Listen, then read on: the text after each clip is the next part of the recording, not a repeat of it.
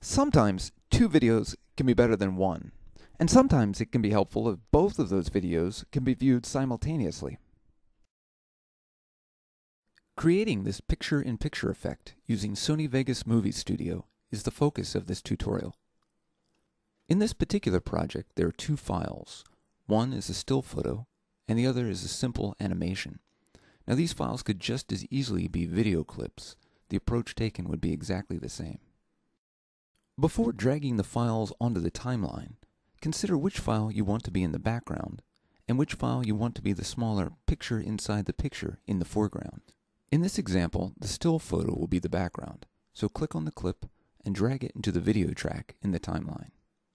Next, select the clip to be positioned in the foreground, click on it, and drag it into the video overlay track. As the name suggests, the clip in the video overlay track is now positioned on top of or overlaying the clip in the video track. For the background clip to become visible, the video overlay must be resized and or repositioned. To do this, click on the track motion icon in the video overlay track to open up the track motion window. On the right-hand side of the window is a rectangle, which is a graphic representation of the video overlay track. This rectangle can be manipulated to resize and reposition the video overlay.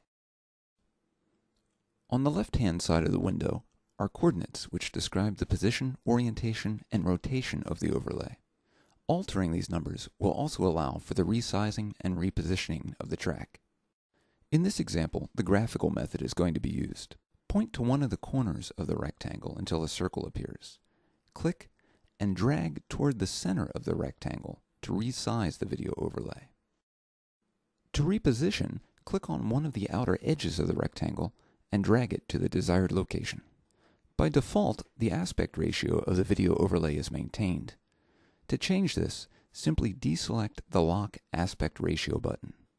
This enables the size of the video overlay to be freely distorted. Click on the play button to preview your picture-in-picture -picture video.